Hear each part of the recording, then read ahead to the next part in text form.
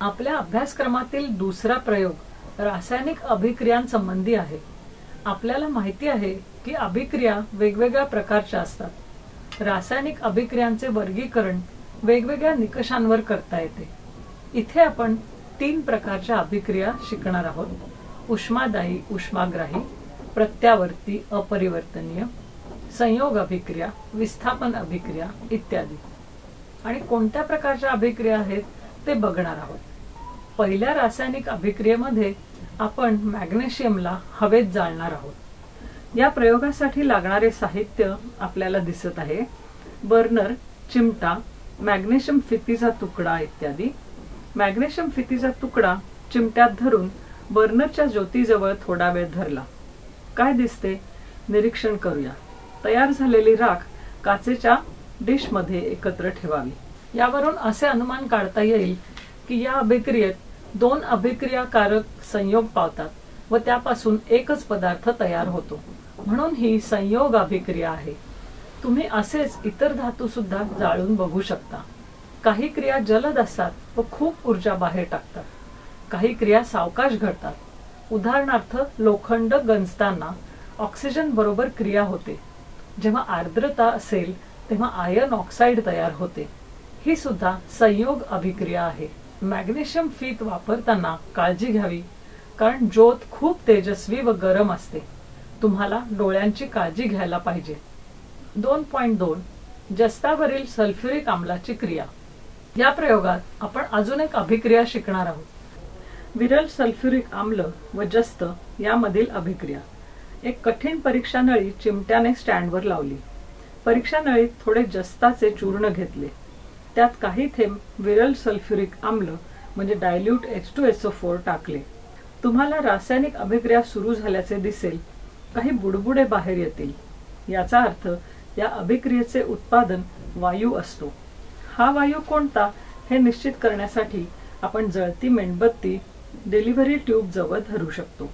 तुम्हाला दिसेल की हा वायू निळ्या रंगाची ज्योत देतो. यावरून निश्चित होते की या रासायनिक अभिक्रियेत तयार झालेला वायू हायड्रोजन आहे. जस्ताची विरल सल्फ्युरिक आम्लाबरोबर क्रिया झाली. परीक्षा नळीमध्ये राहते ते झिंक सल्फेट आणि हायड्रोजन बाहेर टाकला जातो.